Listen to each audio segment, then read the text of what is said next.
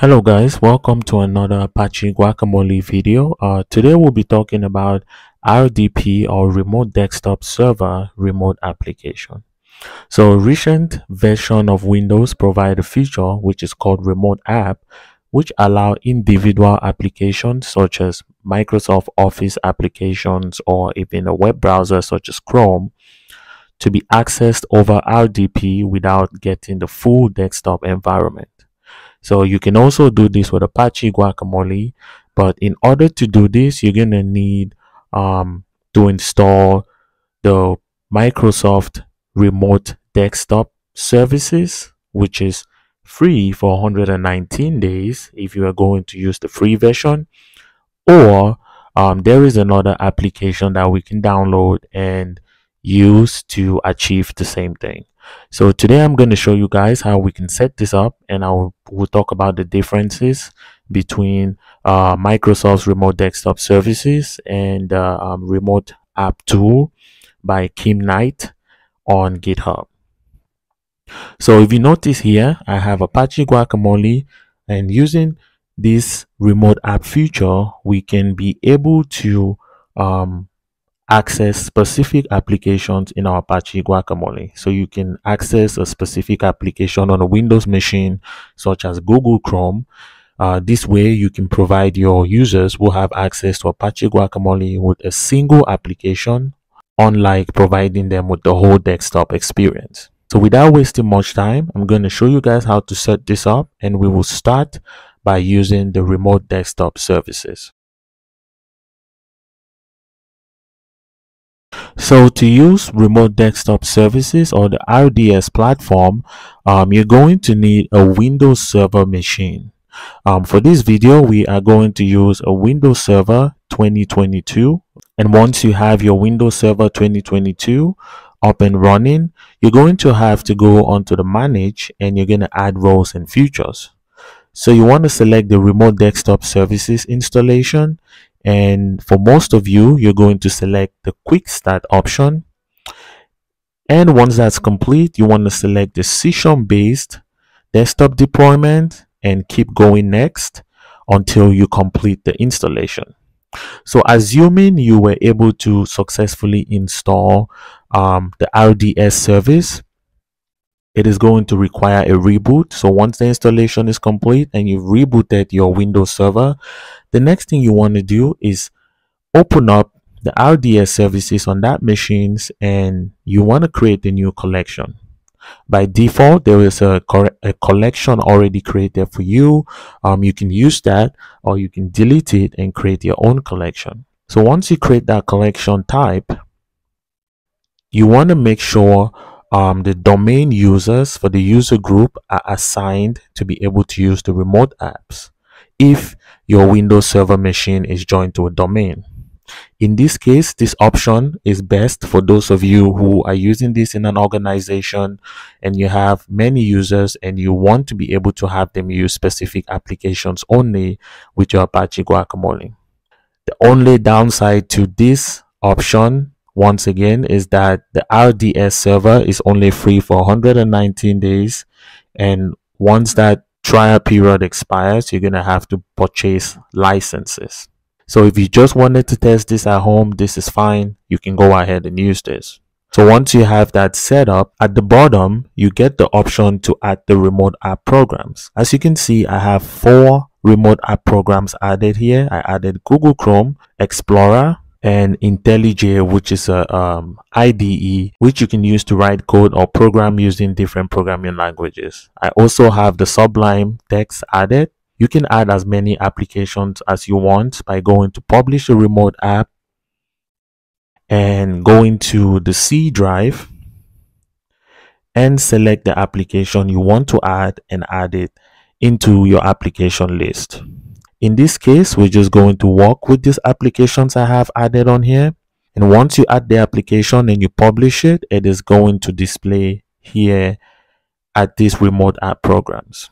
So once you have that published, the next thing you want to do is head over to your Apache Guacamole server and you want to head over to settings, connections, and I'm going to start with the Chrome. If you see on here, you want to fill this up as if you are creating an RDP connection. So you select RDP, give it a name, and you will put in the network IP address and the port number. Make sure you select to ignore server certificate. And you want to come all the way at the bottom where it says remote app and you want to enter the application name. So once you're done entering the application name, note the application name has to match the name of the application here. So the name has to either be the program name, preferably you can use the alias, which is what I'm using in Apache Guacamole. So once you have the alias entered, you want to hit save. And if you head over back to the home page and if we select the Chrome, and once you enter your username and password and continue, you should be presented with your Google Chrome browser. Here you can browse your Google Chrome as normal by entering, for example, we can go to a regular website like geek2gether.com and now you can browse freely without accessing your whole desktop environment. This way, you can give users permission to access specific applications on the browser as if they were in your internal network. So if we close this and disconnect, as you can see, I also did the same thing for another application which is IntelliJ. The steps are the same. You just have to go to connections make sure everything is entered. The host name the port you ignore the server certificate and you want to make sure you enter the remote app program name. And once you have that done if we head back over to the home page and if we open IntelliJ and login. You can see our IntelliJ application is loading. And once that loads up we can go ahead and create a new project and we can start programming using our IntelliJ IDE. Another example we can use this for is we can also create shares so users can access shares on the browser, either to open files or view files using the Explorer. So in order for you to do this, you're going to have to head back to your um, server manager, to your RDS server, and you want to create a new app or add a new app for um, the Explorer. So you're going to go to C Windows and you add the Explorer.exe and under the parameters option, you want to always use the following command line parameter and add a share. This way, every time the user opens up um, the Explorer application, it is going to present them with that share. Note for this, the user have to be logging in um, to Apache Guacamole with a user account and password that has access to that shared drive. So once you have that set up, once again, you head back to your Apache Guacamole and you want to create a new connection. In our case, I already have a connection here, RDP. Enter the host name and the RDP port, ignore the server certificate. And below, you're just going to put the program alias, which is Explorer. And once you save that and you head over back to the home page, if you open the NAS option now and log in, you can see we're presented with Explorer and now we have access to that shared drive.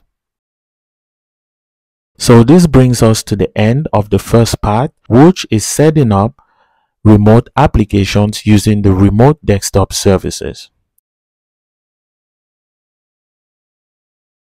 For the next part, we're going to talk about using the free remote app tool by Kim Knight on GitHub.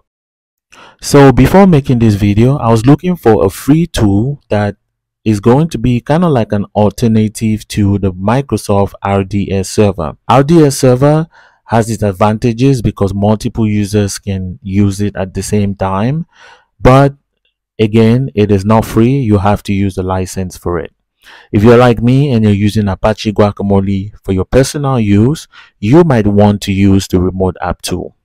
The advantage of the remote app tool is it is free and open source and you can install it on any Windows system, be it Windows 7, 8, 10, XP or Windows Server. Note if you're using anything other than Windows Server, it has to be the Pro version. So for example, Windows 10, you have to use Windows 10 Pro because only the Pro versions of Windows support RDP or remote desktop. Once you have that situated, um, the next thing you need to do to be able to use this app, you need three things.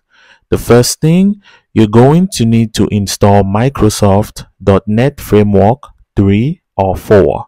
Um, I noticed that 4 doesn't want to work with the Wix toolset version 3. So if you try using .NET Framework 4 and it doesn't work, then you can use .NET Framework 3. So you can download that on the Microsoft um, website or on the Net Framework website. I will leave the links to all the requirements or in the description section below and you can just click on them and download them. The next thing you're going to need is the Wix toolset version 3 you have to download the Wix toolset version 3 as well in order to be able to use this free tool. So once you've downloaded and installed both of these tools, the next thing now you're going to download is the remote app tool itself. You download the installer for the latest version and install it on your Windows machine. So once I head over to my Windows Server machine, if you take a look, I have the application already installed. So I installed the .NET 3.5 i installed the win the wix 311 and i installed the remote app too so once the installation is complete you should see an app on your desktop that looks like this remote app 2 once you open the app this is how it should look. So for now i have three applications added and I'm just going to show you guys how you can add these applications. What you need to do is select the plus sign and then you're gonna have to go to your program files and select the application you want to add.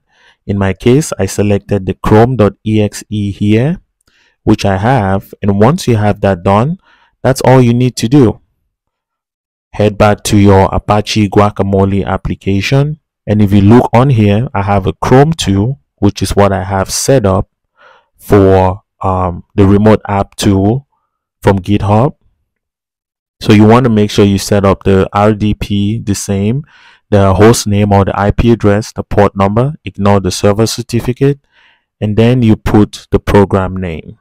So here, if you notice, you can also change the program names. For example, if I double click on this, you can change the name and the full name of the application. But you can also leave it as default, but make sure whichever name is here in the title is the same name that you have to put in Apache Guacamole. So once you have that done, you're going to save that and head back to the home page in your connections and you're going to open up and enter your username and password. So if you notice, the disadvantage of this is only one user can use it at a time. So unlike the Microsoft RDS where it creates sessions and multiple users can log into that this that same Windows machine or Windows server machine and use different applications because it uses kind of a session type connection. With this, only one user can log in at the same time. Once again, if you're using this at home, there is no disadvantage it should be good for you so you say yes and what that's going to do is log me out of this system and once you do that you are now presented with your Chrome browser session only. So as you can see, I don't have any desktop environment. I only have permissions to use the Chrome browser. And this is how you can use the remote app tool, which is free on GitHub to be able to deploy specific applications on your Windows machine on Apache Guacamole. Thank you for watching. I hope this video helps you set up your remote app for Apache Guacamole. Please do not forget to like the video and also subscribe to the channel.